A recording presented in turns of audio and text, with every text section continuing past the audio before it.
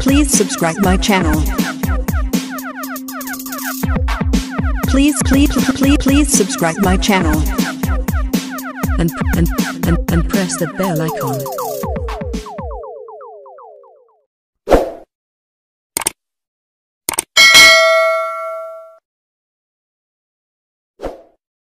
China is ordering large quantities of body bags from Taiwan. That's according to a Taiwanese funeral home director. He's recently received urgent orders of 100 to 200,000 body bags. The last time he saw orders this big was after the South China Sea tsunami. 能不能够给我十万个、十五万个，然后甚至那个最高还有跟我讲二十二十万个。 This comes as more and more countries question China's numbers. Taiwanese senior media person Zhang Hongyi found out that some Taiwanese funeral operators are producing an alarming number of body bags for China. U.S. Congressman John Curtis wants to hold foreign officials accountable for concealing information on the CCP virus. The bill also allows foreign officials to be sanctioned for concealing future outbreaks. Nine other co sponsors are named on the bill. Curtis says there is growing evidence Chinese officials accelerated the spread of the virus by failing to take early action. Sanctions include revoking visas and seizing assets. Australian Prime Minister Scott Morrison is urging the WHO and the UN to act against China's wet markets, like the one where the deadly coronavirus is thought to have originated, as they pose great risks to the health and well being of the rest of the world. But uh, these markets, it's not the first time we've seen uh, these types of viruses come out of these sorts of places. Um, I think this is a big challenge for the world into the future. The World Health Organization and other international organizations, I think this is an area they can spend a bit of time and attention on because we can clearly see the great risks to the health and well-being of the rest of the world. And African swine fever has reemerged in China, killing 206 piglets. Two cases were found in Gansu province. A report says the cases come from other provinces, but the report didn't mention the name of the province or how the situation in the other province was. On April 1st, Sichuan recorded one death from the disease. This case also coming from another province, but the other province was not named. Two cases in Sichuan province killing 18 piglets. One city in Henan reported 252 piglets from another province were dead on arrival. A city in Inner Mongolia reported 92 have died from the fever. All the cases were reportedly from other provinces, but no one knows which province. There are no outbreak reports from the so called other provinces. Reuters did a special report on how Chinese officials downplay the number of swine fever deaths. The report references China's meat industry to say the disease killed half of China's hog herd. It also compares China's swine fever cover up with the coronavirus cover up, saying Beijing's handling of the outbreak has troubling similarities, but with a much higher cost human life. China is ordering large quantities of body bags from Taiwan. That's according to a Taiwanese funeral home director. He's recently received urgent orders of 100 to 200,000 body bags. The last time he saw orders this big was after the South China Sea tsunami. 能不能够给我十万个、十五万个，然后甚至那个最高还有跟我讲二十二十万个。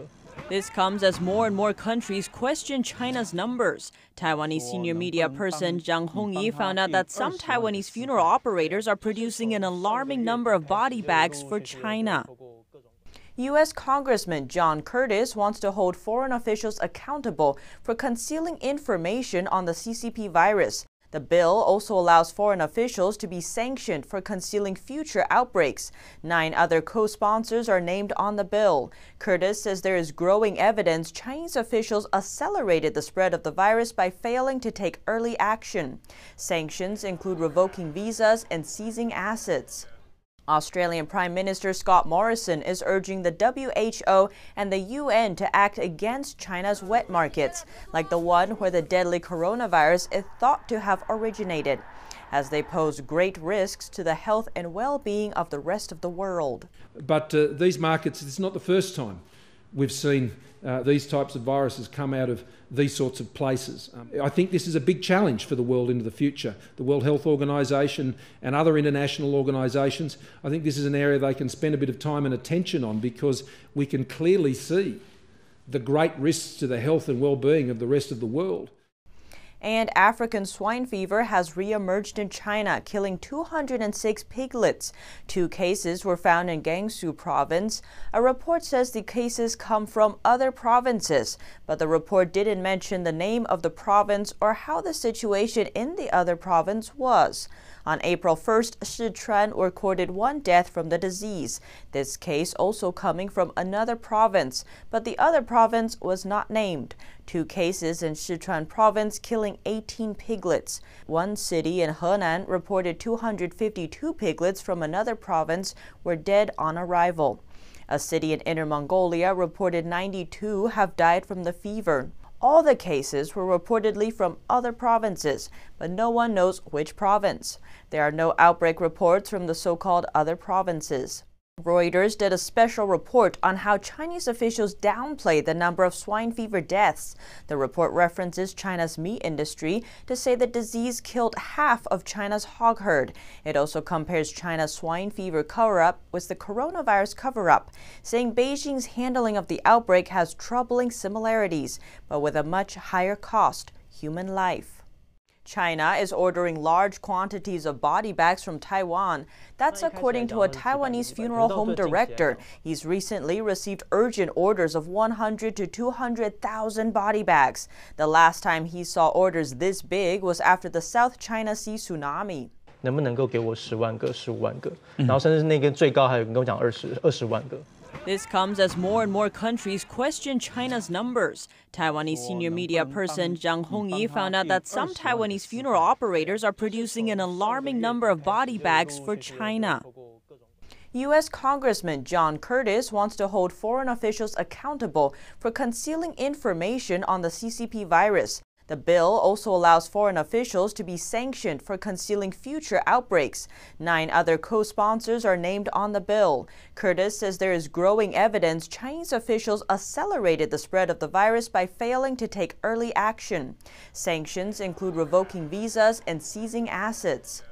Australian Prime Minister Scott Morrison is urging the WHO and the UN to act against China's wet markets, like the one where the deadly coronavirus is thought to have originated, as they pose great risks to the health and well being of the rest of the world. But uh, these markets, it's not the first time we've seen uh, these types of viruses come out of these sorts of places. Um, I think this is a big challenge for the world into the future. The World Health Organization and other international organizations, I think this is an area they can spend a bit of time and attention on because we can clearly see the great risks to the health and well-being of the rest of the world and African swine fever has reemerged in China, killing 206 piglets.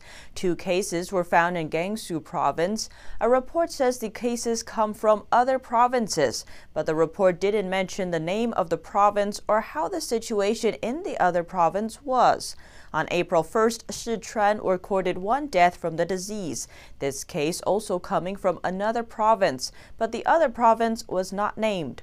Two cases in Sichuan province killing 18 piglets. One city in Henan reported 252 piglets from another province were dead on arrival. A city in Inner Mongolia reported 92 have died from the fever. All the cases were reportedly from other provinces, but no one knows which province. There are no outbreak reports from the so called other provinces. Reuters did a special report on how Chinese officials downplay the number of swine fever deaths. The report references China's meat industry to say the disease killed half of China's hog herd. It also compares China's swine fever cover up with the coronavirus cover up, saying Beijing's handling of the outbreak has troubling similarities, but with a much higher cost human life.